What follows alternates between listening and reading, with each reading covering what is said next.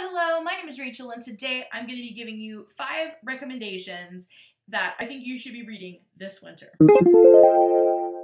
First up is a book that I have been talking about since it came out, since I read it, and I'm just going to keep talking about it.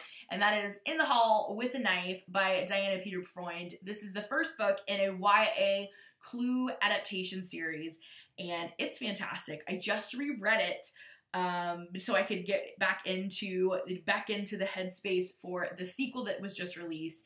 And I'm really, really enjoying the sequel so far. I just think this is such a fun series. If you like Clue, if you like um, the movie, the board game, if you like murder mysteries that are kind of isolated at a school setting where it's really cold, I think you will love this one. Um, the main reason I'm recommending it for the winter season is because they are in Maine, and essentially the reason they're isolated on this little like island that their school is housed on is because of the harsh winter weather that they experience. Um, it's it freezes everything over. Um, it kind of floods part of the campus, and they all have to congregate. Everybody that's left, at least, has to congregate in Tudor House, one of the dormitories on campus, and then of course murder ensues. So it was fantastic. Uh, like I said, I've reread it. I've read it twice now. I think it is so much fun. So if you're looking for a murder mystery that's going to give you like all the winter vibes, check out In the Hall with a Knife by Diana Peterfreund. Number two is a very similar, very hot new release, and that is One by One by Ruth Ware. This was a lot of fun. I say this in like the nicest way. This is not the best book you're ever gonna read, but I found it to be very entertaining. I know it's getting like very mixed reviews here on BookTube, but uh, it gave me everything that I wanted. I wanted a kind of murder mystery that was set in a cold setting. And that is exactly what this book gave us. This is set in the like French mountains, this chalet up in these like snowy mountains, and this tech crew has decided to have kind of like a staff um, getaway and they go and stay in this chalet with these two people who are kind of in charge of the chalet for the weekend and thus the title one by one they begin dying. And like i said it was just perfect for me. It gave me all the winter vibes. It's so like atmospheric with the skiing and then there's an avalanche and there's just cold and snow and aside from all the murder and the avalanche like i would i really wanted to go stay in one of these chalets if i could hold off on being murdered and being snowed in via an avalanche. And a big stack of books I've won. But um, very atmospheric for the winter season. And if you're looking for a fun murder mystery, I feel like that's kind of ironic to say, but you know what I mean. Um, this is the one for you. And again, that is One by One by Ruth Ware. Next up, in kind of a similar vein, more kind of snowy mountain esque murderiness. Uh, if you're into that, you should pick up Dead Mountain, The Untold True Story of the Dyatlov Pass Incident by Donnie Eichar. And this is going to give you possibly nightmares because it's terrifying. Uh, this is a nonfiction book, so it's true story about um, some professional level skiers who essentially all died up in the mountain inexplicably in Russia. They're up in like Siberia. They're all like young, healthy, very active, highly trained skiers. I think for some of them, this was like the last hike to earn like the highest ranking ski like officialness that you can get. So they're all very good at this and um, they never return. So they go out searching for them. They find their tent.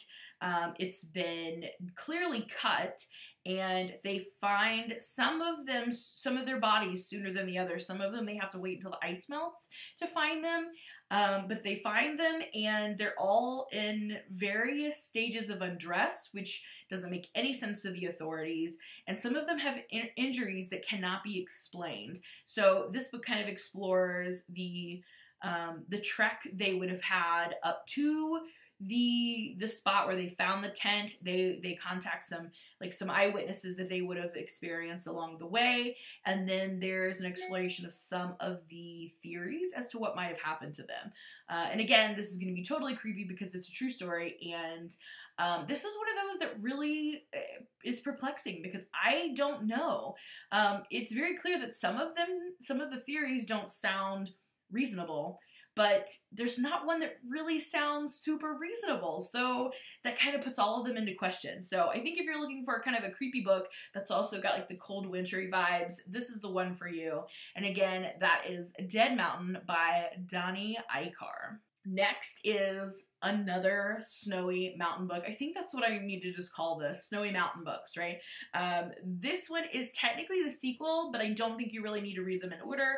Uh, this is Dead Voices by Katherine Arden. The first book is called Small Spaces, and the thing that I love the most about this series is that it's very seasonal. The first book is very fall based. It's got a lot of like pumpkins, pumpkin patches, um, scarecrows, all fall things. Um, this one is focused more on the winter season. They are snowed in at a ski lodge. A snee. They are snowed in at a ski lodge, and there are some ghosts and some bad guys. And yes, all the all the winter spooky things that you need. So, if you're still feeling that spooky season, but you also want winter vibes, this is the book for you. Again, like I said, this is a sequel, so we have some reoccurring characters, but I don't really think you really have to read the first book to get this, but they're both very short. They're middle grade books, so if you want to, go for it. They're both good. But Dead Voices is definitely the one that is focused more on the winter. There is allegedly going to be a spring and a summer one of this as well, so keep your eyes peeled. But essentially, we have um, three friends whose bond we get to witness in the first book. Um, going with their parents to this ski lodge for a break. And of course, they're going to get snowed in, and some of their troubles from the first book follow them into the second book, but in a very kind of different format, which is why I don't think you necessarily need to read the first one. But it's spooky. Um, for middle grade, like this is pretty scary. So um, I, I think you're going to enjoy it, and I think it would be perfect to read on like a cold winter day. And last but not least, um, I'm sure you're going to be surprised. I have yet another Snowy Mountain book for you. And technically, it's kind of a double recommendation. There's two books to go with this.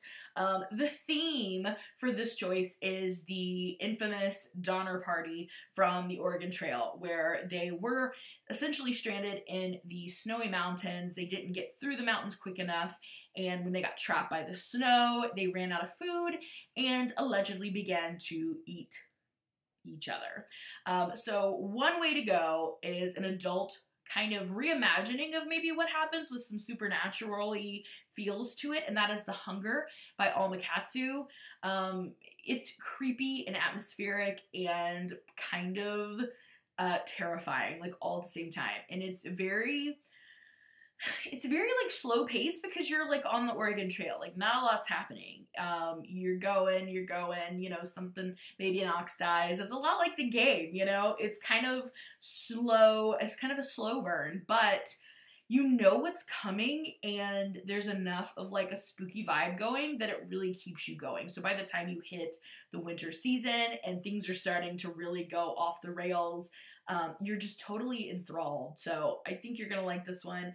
Again, it's gonna give you some like spooky wintry vibes and that's the hunger by alma katsu um, there's another recommendation for this too if you want some of more of the donner party vibes and that is called to stay alive this is mary ann graves and the tragic journey of the donner party by skila brown this is a historical fiction book in verse uh, that's YA, and it is just enthralling. Um, you're following along um, as they they're progressing towards the mountains. Again, you know what's coming. I think that I typically personally don't tend to enjoy verse and poems. That's just not my jam. Um, but the the verse style of this book is totally appropriate. I think it really helps build the atmosphere and really brings home like the tone of what's happening in certain parts of this book makes it so so creepy. Um, again though it's going to give you a lot of that winter spooky creepy vibes. So if you're in to that you can try either the hunger or to stay alive by skila brown. So there you have some recommendations for you to read this winter that's basically just a collection of like spooky things that happen in the mountains. but enjoy if you do read them or if you already have, let me know down below. And apparently that's a thing I like to read. So if you have any other like spooky, spooky snow-covered mountain books, let me know down below. Thanks so much for watching. I'll see you again in the video soon. Bye for now.